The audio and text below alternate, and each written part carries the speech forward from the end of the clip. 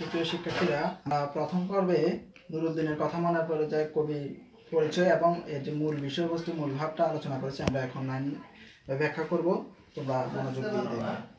এই কবিতাটাকে আমরা সাধারণত তিনটে অংশে ভাগ করতে পারি। প্রথম অংশ হচ্ছে যে, বাংলার যে রূপ বৈচিত্র্য এই বৈচিত্র্যের একটা প্রকাশ কবি এখানে করেছেন। আর দ্বিতীয় যে অংশটা, সেখানে হচ্ছে ব্রিটিশদের যে একটা ধ্বংস লীলা এই ধ্বংস লীলার একটা পরিচয় দিয়েছেন নুরুদ্দিনের মাধ্যমে বিদ্রোহের যে পরিচয়, পরিচয়টা আর তৃতীয়ত যে অংশটা সেখানে পরিচয় দিয়েছেন যে বাংলার কবি বাংলা থেকে বাংলা থেকে অথবা বাংলাদেশ থেকে এমন একজন নেতা প্রত্যাশা করতেছেন যিনি আমাদের সকল দুঃখ অথবা ব্রিটিশদের বিরুদ্ধে অথবা অন্যায়ের বিরুদ্ধে কি বলে, নেতৃত্ব দিবেন, নেতৃত্ব দিয়ে আমাদেরকে স্বাধীনতার স্বাদ দিবেন, এই একটা প্রত্যাশা তিনি করেছেন। আমরা একটু লাইনে যাচ্ছি। দেখো, নীলক্ষা আকাশ নীল, হাজার হাজার তারা ওই নীলে অগণিত। নীলক্ষা আকাশ নীল নীলক্ষা শব্দের, শাব্দিক অর্থ যে চিন্তা সেটা হচ্ছে যে দৃষ্টি সীমা অতিক্রম করে যতটুকু পর্যন্ত ঠিক ততটুকুর কথা বলতেছে। অর্থাৎ নীলক্ষা আকাশ নীল আমাদের যে দৃষ্টি দৃষ্টি যতটুকু যাচ্ছে, ঠিক ততটুকুই বাংলার মাঝে যে নীল আকাশ, এই আকাশটাকে আমরা দেখতে পাচ্ছি। হাজার হাজার তারা ওই নীলে অগণিত তো এই আকাশের মধ্যে রাত্রি যখন হয়, সন্ধ্যা যখন নামে, তখন আমরা হাজার হাজার তারা এই বাংলার আকাশে দেখতে পাই, নীল আকাশের মধ্যে। আর নিচে, অর্থাৎ এই আকাশের নিচে গ্রামগঞ্জ হাট জনপদ লোকালয়ে আছে উনসত্তর হাজার। অর্থাৎ এই আকাশের নিচে নিচে যে বাংলাদেশের পরিচয় তিনি দিয়েছেন কবি, এই কবির পরিচয়ের মধ্যে বোঝা যাচ্ছে বাংলাদেশের উনসত্তর হাজার গ্রাম রয়েছে। অর্থাৎ বাংলাদেশের আকাশটা যে আকাশটা হচ্ছে নীল অক্ষা তার পরিচয় হচ্ছে আকাশটা হচ্ছে নীল, এবং এই লোকালয় যে আছে, লোকালয় তথা বাংলাদেশের গ্রাম হচ্ছে উনসত্তর হাজার। ধবল দুধের মতো জ্যোৎস্নার তার ঢালিতেছে চাঁদ পূর্ণিমার। ধবল দুধের মতো, এই ধবল দুধের মতো বলতে এখানে জ্যোৎস্নাকে ধবল দুধের সাথে তুলনা করছেন, সাদা দুধের সাথে তুলনা করছেন চাঁদ পূর্ণিমা। অর্থাৎ পূর্ণিমার চাঁদ যেমনিভাবে জ্যোৎস্না দেয়, এই জ্যোৎস্নাটা হচ্ছে ধবল দুধের মতো, সাদা দুধের মতো। যে ধবল রোগী, আমরা তোমরা হয়তো দেখে থাকো যে ধবল রোগ একটা রোগ আছে, এই রোগের যে রোগী যেমনিভাবে সাদা, ঠিক তেমনি আমাদের বাংলার আকাশে যে পূর্ণিমার চাঁদ উঠে, এই পূর্ণিমার চাঁদের যে জ্যোৎস্নাটা, এই জ্যোৎস্নাটাও ঠিক তেমনি সাদা। এরপর দেখো একটা নাটকে তোমাদের ধ্বংসস্তূপের ব্রিটিশদের যে ধ্বংসস্তূপ, এই ধ্বংসস্তূপের পরিচয় এখানে দিচ্ছেন। নষ্ট ক্ষেত, নষ্ট মাঠ, নদী নষ্ট, বীজ নষ্ট, বড় নষ্ট যখন সংসার, অর্থাৎ এই বাংলার যে জমিন, এই বাংলার জমিন ব্রিটিশদের অত্যাচারের কারণে ক্ষেতগুলা করতে মানে আমাদের ফসল যে যেখানে ফলবে, ফসল মাঠটা কি হয়ে গেছে? নষ্ট হয়ে গেছে। নদীগুলো নষ্ট হয়ে গেছে। বীজগুলো নষ্ট হয়ে গেছে এবং সবচেয়ে বড় যে বিষয় সেটা হচ্ছে যে আমাদের যে সংসার যে সংসার আমরা যেখানে বসবাস করি, যেখানে আমরা মিলেমিশে এক এক- একসাথে থাকি, সেই সংসারটাও কি হয়ে গেছে? নষ্ট হয়ে গেছে। তখন হঠাৎ কেন দেখা দেয় নীলক্ষারে নীলে তীব্র শীষ দিয়ে এত বড় চাঁদ। অর্থাৎ এই যে নষ্ট, ব্রিটিশদের অত্যাচারের কারণে যে নষ্ট ভূমি, নষ্ট মাঠ, নষ্ট সংসার, তখনই হঠাৎ করে দেখা দিয়েছে নীলক্ষার নীল নীলে বাংলার আকাশের নিচে অতি দূর যতটুকু চোখ যায় ঠিক ততটুকুতে তীব্র শীষ দিয়ে এত বড় চাঁদ। এই এত বড় চাঁদ বলতে এখানে একজন ব্যক্তির আশা, আকাঙ্ক্ষাকে বোঝানো হচ্ছে। আমরা এটাকে যদি প্রতীকী অর্থে যদি নেই, প্রতীকী অর্থে আমরা এটাকে নুরুল দিন থেকে কল্পনা করতে পারি। অর্থাৎ ব্রিটিশদের অত্যাচারে বাঙালি এত বেশি অর্জাতে অত্যাচারিত অথবা নির্যাতিত হয়ে গেছে, যার মধ্যে হঠাৎ করে মানুষের সকল আশা, আকাঙ্ক্ষার প্রতীক হিসেবে চাঁদ যেমনিভাবে সকল অন্ধকার দূর করে জ্যোৎস্নাটাকে মানুষের কাছে প্রস্ফুটিত করে তোলে। ঠিক তেমনি করে নুরুল দিন নামক একজন কৃষক এসে বাংলার যে নির্যাতিত জনগণ, নির্যাতিত যে জাতি, তাদেরকে আশার আকাঙ্ক্ষা, আশার প্রদীপ হিসাবে দেখিয়েছেন কীভাবে ব্রিটিশদের বিরুদ্ধে বিদ্রোহ করতে হয়। এই নীলে তীব্র শীষ শীষ বলতে এখানে বোঝাচ্ছে তার যে আগমনী বার্তা। এই আগমনী বার্তাটাকে আর তো চাঁদ দিয়ে আমরা প্রতীক অর্থে নুরুদ্দিনকে কল্পনা করতে পারি। এরপর অতি অকস্মাৎ স্তব্ধতার দেহ ছিঁড়ে কোন ধ্বনি, কোন শব্দ, কিসের প্রকাশ অতি অকস্মাৎ মানে হঠাৎ করেই দিন অত্যাচারের বিরুদ্ধে জেগে উঠে স্তব্ধতার দেহে ছিঁড়ে কোন ধ্বনি? অর্থাৎ ব্রিটিশদের অত্যাচারের কারণে আমরা নিজেরা এত বেশি চুপসে গেছি যে আমাদের মুখ দেওয়ার আর কোনো কথাই আসে না। ঠিক তখনই স্তব্ধতা আমাদের সকল চুপকে জাগিয়ে তুলে তখন আমাদের মাঝে এসেছিল, একটা ধ্বনি নিয়ে এসেছিল কে নুরুদ্দিন। কোন শব্দ কিসের প্রপাত? জলপ্রপাত যেমনিভাবে মানুষদের সব কিছু ধুয়ে নিয়ে যায়, ঠিক তেমনিভাবে নুরুদ্দিন আমাদের বাংলার জমিনে এসেছিল। যে নুরুদ্দিন এসে বলতেছে, কবি, এখানে প্রত্যাশা করতেছে, সবাইকে বলতেছে যে গোল হয়ে আসুন সকাল, অর্থাৎ সবাই আসো, আমরা একসাথে বসি। একসাথে বসে আমরা একটা সিদ্ধান্ত নিই। কিসের সিদ্ধান্ত? সেটা হচ্ছে ব্রিটিশদের বিরুদ্ধে আমরা কীভাবে বিদ্রোহ করব, তাদের অত্যাচারের বিরুদ্ধে আমরা কীভাবে নিজেদেরকে লড়ে যাব। সেই বিষয়টার জন্য বলতেছে, গোল হয়ে আসুন সকলে, ঘন হয়ে আসুন সকলে। আমরা জানি গোল টেবিল বৈঠক নামে একটা যে মত বিনিময় সভা হয়, এই গোল টেবিল বৈঠক মানুষ আসলে বসে কেন? কারণ একটা সিদ্ধান্তে আসার জন্য। ঠিক তেমনি কবি এখানে বলতেছে যে, তোমরা গোল হয়ে আসুন সকলে, ঘন হয়ে আসুন সকলে। আমার মিনতি আজ স্থির হয়ে বসুন সকল অর্থাৎ আমরা এই দিক সেদিক চিন্তা না করে আমাদের সবার সব ব্যক্তিগত মতামত পেশ না করে আমরা একটা সিদ্ধান্তে আসার এখন সেই সময় হয়েছে যে ব্রিটিশদের বিরুদ্ধে আমাদের আন্দোলন করে এই কথাটা এখানে তিনি বলতেছেন। এরপর কবি বলতেছেন, অতীত হঠাৎ হাতে হানা দেই মানুষের বন্ধ যায় এই অতীত, এখন আমাদের যে বর্তমান, এই বর্তমানের কথা বলতেছে তথা উনিশশো সাতচল্লিশ সালে দেশ বিভাগের পর থেকে পাকিস্তানি শাসকদের কাছে আমরা যেভাবে অত্যাচারিত, সেই প্রেক্ষাপটটা এখন বর্ণনা করতেছে। এবং এই প্রেক্ষাপটের সময়ে আমাদের বন্ধ দরজায় মানে ব্রিটিশরা যেমনিভাবে আমাদেরকে অত্যাচার করছে, ঠিক পাকিস্তানিরাও আমাদেরকে কিন্তু তেমনিভাবে নির্যাতন করতেছে, অত্যাচার করতেছে। এবং এদের কাছ থেকে বেঁচে থাকার জন্য আমাদের কাছে অতীতটাই হচ্ছে আমাদের সবচেয়ে অনুপ্রেরণা। এই কথাটা কবি এখানে বলতেছে। অতীত হঠাৎ হানা দেয়, হাতে হানা দেয় মানুষের বন্ধ দরজা অর্থাৎ পাকিস্তানিদের নির্যাতনের কারণে আমরা যেভাবে চুপসে গেছি, সবাই পাকিস্তানের কখনোই চিন্তা করেনি আসলে বাঙালি বীর বা বাঙালি সাহসের জাতি। এ কথাটা কখনোই তারা চিন্তা করে না এবং আমরাও কিন্তু পাকিস্তানি সকল শাসনকে মাথা পেতে নিয়ে কিন্তু নিজেরা চুপ হয়ে গেছে। এবং এই চুপ যখন হয়ে গেছে, ঠিক তখনই প্রেরণা হিসেবে, অনুপ্রেরণা হিসেবে আমাদের কাছে অতীতটাকে আমাদের সামনে কবি নিয়ে আসছেন। সেই অতীতটাকে, সেটা হচ্ছে নুরুদ্দিন যখন ব্রিটিশদের বিরুদ্ধে আন্দোলন করে, সেই কথাটা তিনি এখানে বলতেছেন।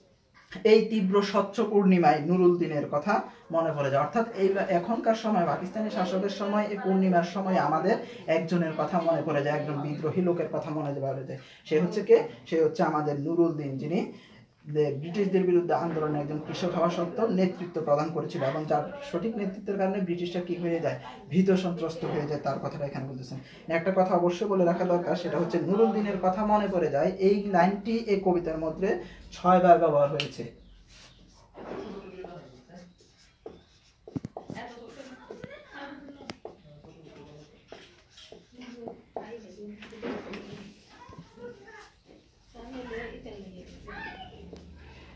নুরুদ্দিনের কথা মনে পড়ে যায়, এই লাইনটি কবিতার মধ্যে ছয়বার ব্যবহার হয়। কাল ঘুম যখন বাংলায়, তার দীর্ঘ দেহ নিয়ে আবার নুরুদ্দিন দেখা দেয় মরা আঙিনে এই কাল ঘুম কাল ঘুম মানে হচ্ছে যে মৃত গুণ। অর্থাৎ আমরা যে উনিশশো একাত্তর সালে যে পঁচিশে মার্চ রাতে পাকিস্তানের যে আমাদেরকে যে গণহত্যা পরিচালনা করে, ঠিক এই গণহত্যার সময় মানুষ যেভাবে নির্ঘুম মানে মৃত্যু ঘুম ঘুমিয়ে গেছে, বাংলার প্রত্যেকটা পাড়া পাড়া মহল্লাতে এবং বিশেষ করে ঢাকা শহরের প্রত্যেকটি রাস্তায় বিশ্ববিদ্যালয় হলগুলোতে তখন ছিল শুধু মৃত্যুদের যন্ত্রণা, মৃত্যুর যন্ত্রণা। সেই কথাটাকে এখানে কালঘুম বলতে সেই মৃত্যু যন্ত্রণাটাকে বোঝাচ্ছে। অথবা যখন সারা বাংলাদেশে শুধু মৃত্যু অথবা শুধু মরণের প্রতিচ্ছবি দেখা যাচ্ছে সেই কথা কথা বলতেছে যে কাল ঘুম যখন বাংলায় তার দীর্ঘ দেহ নিয়ে আবার নুরুদ্দিন দেখা দেয় মরা আঙিনা অর্থাৎ মরা আঙিনা বলতে বাংলাদেশের সার্বিক একটা পরিস্থিতি বোঝাচ্ছে। যে উনিশশো একাত্তর সালে মুক্তিযুদ্ধের সময় বাংলাদেশের কীভাবে পাকিস্তানিরা আমাদেরকে নির্যাতন করেছিল, আমাদেরকে যেখানে যেখানে হত্যা করেছিল সেই কথাটা এখানে বলতেছেন যে তার দীর্ঘ দেহ নিয়ে নুরুদ্দিন দীর্ঘ দেহ, অর্থাৎ নুরুদ্দিনের মতো একজন বীর সাহসী লোক তখন কি এসেছিল?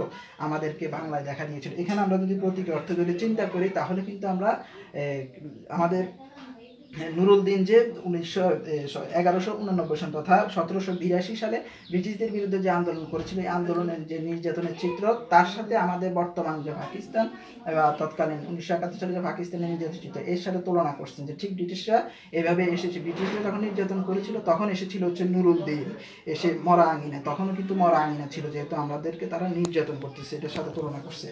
এরপর তিনি নুরুদ্দিনের পরিচয় দিচ্ছেন। দেখো নুরুদ্দিনের বাড়ি রংপুরে যে ছিল নুরুদ্দিনের বাড়ি কোথায়? তাহলে এক কথায় আমরা বলতে পারি তার বাড়ি হচ্ছিল রংপুর এবং তৎকালীন ব্রিটিশদের বিরুদ্ধে যে বিদ্রোহ হয়েছিল, সেটা কিন্তু রংপুর, দিনাজপুর যে অঞ্চল, এ অঞ্চলে সামন্তবাদীর বিরুদ্ধে যে বিদ্রোহ হয়েছিল, এই বিদ্রোহের মূল কথাটাই কিন্তু নুরুল দিনের কথা মনে করে যায়, এই কবিতার মধ্যে আলোচনা হয়েছে। এবং এই রংপুর দিনাজপুরের সামন্তবাদী সমাজরা কৃষকদেরকে যেভাবে নির্যাতন করে, নীল চাষ করতে বাধ্য করে, তাদেরকে বিভিন্ন যে কাজগুলো তারা করতে চাইতেন, এই কাজগুলো করতে তাদের ফসলগুলো কিন্তু ব্রিটিশরা নিয়ে যেত। তাদেরকে পরিশ্রম করতে, তাদেরকে মারধর করতে, এই কথাগুলো কিন্তু এখানে বলা হচ্ছে। রংপুরে নুরুল নুরুদ্দিনের একদিন ডাক দিয়েছিল। রংপুরে নুরুদ্দিন একদিন ডাক দিয়েছিল। অর্থাৎ নুরুদ্দিনের একটি ডাকেই কিন্তু সারা বাঙালি কৃষক সমাজ একতাবদ্ধ হয়ে ব্রিটিশদের বিরুদ্ধে বিদ্রোহ করার সাহস তারা দেখিয়েছিল। এগারোশো উনানব্বই সনে। এগারোশো উনানব্বই সন মানে হচ্ছে বঙ্গাব্দ, এগারোশো উনানব্বই বঙ্গাব্দ। তোমরা হয়তো জানো যে বাংলা থেকে ইংরেজি সাল বের করার একটা সহজ কৌশল আছে, সেটা হচ্ছে বাংলা সনের সাথে এগারোশো উনানব্বই সাথে যদি আমরা পাঁচশো তিরানব্বই যদি যোগ করি, পাঁচশো তিরানব্বই যদি যোগ করি, যে সালটা আসবে সেটা হচ্ছে ইংরেজি সাল। তাহলে আমাদের এখানে হচ্ছে সতেরোশো বিরাশি সাল। মানে এখানে এখানে কিন্তু তোমাদের জন্য গুরুত্বপূর্ণ একটা প্রশ্ন আছে, সেটা হচ্ছে যে সতেরোশো বিরাশি সাল, অর্থাৎ এই যে বিদ্রোহ, বিদ্রোহটা আসলে কত সালে হয়? ইংরেজি কত খ্রিস্টাব্দ হয়? তখন কিন্তু উত্তর হবে সতেরোশো বিরাশি। আবার সেম এভাবেই কিন্তু সতেরোশো বিরাশি থেকে পাঁচশো তিরানব্বই যদি বিয়োগ দেওয়া হয়, তাহলে কিন্তু আমরা বাংলা সন বের করতে পারব। এরপর কবি বলতেছেন, আবার বাংলার বুঝি পড়ে যায় মনে, নুরুদ্দিনের কথা মনে পড়ে যায়। অর্থাৎ বাংলাদেশের যতগুলো স্বপ্ন দেখতেছে, যতগুলো অত্যাচার দেখতেছে, সবগুলোর সাথে কবি কিন্তু আমাদের নুরুদ্দিনের কথাকে কল্পনা করতেছে এরপর দেখো, যখন শকুন নেমে আসে এই সোনার বাংলায়, শকুন বলতে পাকিস্তানি যে শাসক গোষ্ঠী, শাসক গোষ্ঠীকে বলে বলতেছে, সোনার বাংলায় বলতে আমাদের বাংলাদেশকে বোঝাচ্ছে সুজলা সুফলা শস্য শ্যামলা যে বাংলাদেশ এই বাংলাদেশের কথা বলতেছে। যখন শকুন নেমে আসে এই সোনার বাংলায়, নুরুদ্দিনের কথা মনে পড়ে যায়। যখন আমার দেশ ছেয়ে যায়, দালালেরই আলখেল্লায়। এই আলখাল্লায় যে দালাল বলতে, দালাল এবং আলখাল্লা আলখাল্লা শব্দটা আমরা এই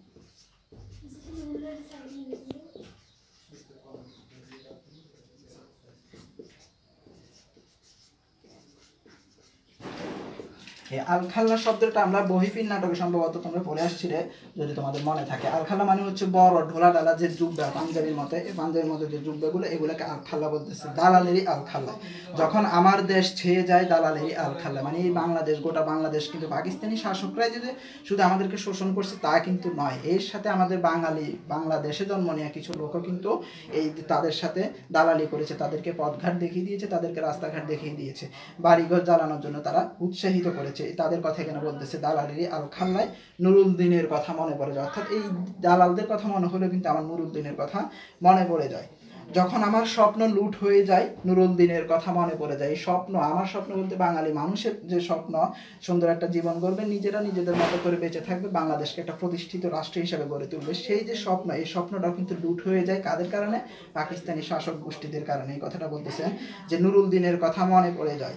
যখন আমার কণ্ঠ বাজেয়াপ্ত করে নিয়ে যায় নুরুল দিনের কথা মনে পড়ে যায়, আমার কণ্ঠ বলতে আমাদের যে নিজস্ব যে মাতৃভাষা, উনিশশো, তোমরা জানো, উনিশশো বাহান্ন সালে যে ভাষা আন্দোলন, এই ভাষা আন্দোলনও কিন্তু আমরা পাকিস্তানিরা আমাদেরকে দেয়নি করতে। কেন দেয়নি? তারা বলেছিল যে উর্দুই হবে পাকিস্তানের একমাত্র রাষ্ট্রভাষা। এই যে কণ্ঠ বাজেয়াপ্ত করা, আমাদের কথা বলার যে একটা স্বাধীনতা, আমাদের যে বাক স্বাধীনতা, এই বাক স্বাধীনতাটাকেও কিন্তু পাকিস্তানিরা তাদের নিজেদের করে নিতে চেয়েছিল এই ঠিক তখনও কিন্তু আমার কার কথা মনে করে দেয় নুরুল দিনের কথা মনে করা যায়। একজন বিদ্রোহী, বালকের কথা যুবকের কথা অথবা একজন বিদ্রোহী মানুষের কথা আমাদের সামনে চলে আসে।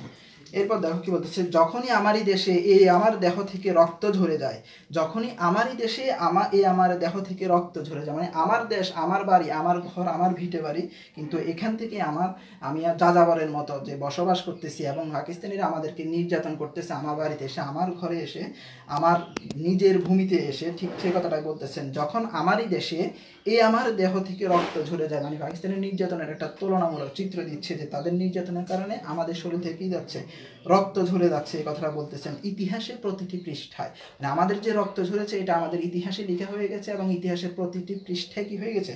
লেখা হয়ে গেছে। সেই কথাটা এখানে কবি বলতেছেন যে, আমার দেশে সব কিছুই আমার মালিক আমার, কিন্তু আমাকে পরিচালনা করতেছে কে?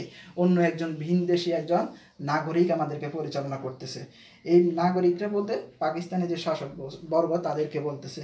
ইতিহাসে প্রতিটি পৃষ্ঠায় উনিশশো বাহান্ন সালের ইতিহাস আমাদের লেখা আছে, উনিশশো ছেষট্টি সালের ইতিহাস লেখা আছে, উনিশশো উনসত্তরের গণ অভ্যুত্থানের কথাও লেখা আছে, উনিশশো সত্তর সালেরও ইতিহাসের কথা আমাদের এখানে লেখা আছে। এই যে ইতিহাস বলতে এই সংগুলোকে বোঝাচ্ছে যেটা আমরা পাকিস্তানিদের সাথে আমাদের, কি বলো যে বিদ্রোহ হয় অথবা ঝগড়া অথবা যুদ্ধ হয়, যুদ্ধের মতো করে যে পাকিস্তান আমাদের উপর নির্যাতন, তাদের বিরুদ্ধে যে আন্দোলন সংগ্রাম হয়, এই কথাগুলো এখানে বলতেছেন। এরপর কবি বলতেছেন, আমাদেরকে একটা প্রত্যাশা করতেছেন কবি তো কবিতার যে তৃতীয় যে অংশটা এখানে।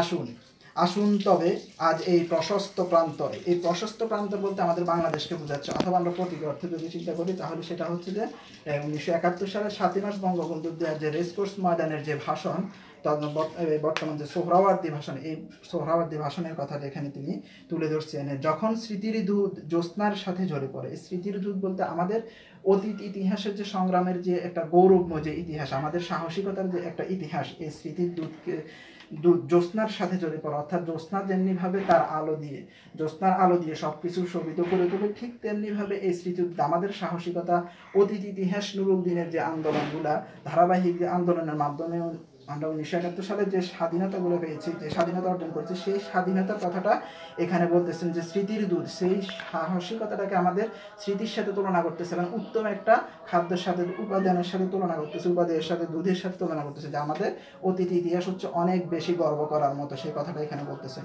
তখন কে থাকে ঘুমে, কে থাকে ভেতরে? মানে অর্থাৎ যখন এই প্রশস্ত নগতে যখন আমাদের সাহসিকতার কথাগুলো যখন আমাদের চোখের সামনে চলে আসে, আমাদের স্মৃতিস্পটে চলে আসে, তখন কে থাকে ঘুমে? অর্থাৎ এগুলাকে কে অবহেলা করে? কে থাকে ঘুমে, কে থাকে ভিতরে? অর্থাৎ কে এগুলা অ্যাভয়েড করে মানে এগুলো ত্যাগ করে কে আবার ঘরের মধ্যে চলে যাবে? আন্দোলনে অংশীদার না হয়ে আন্দোলনে যোগদান না করে, এই কথাটা এখানে বলতেছে। কে একা নিঃসঙ্গ বসে অশ্রুপাত করে? অর্থাৎ কে একা? আমাদের যে পাকিস্তানিদের নির্যাতনের জন্য কে ঘরে বসে একা একা নিজের চোখের জল, নিজের চোখের জল নিজে ফেলবে?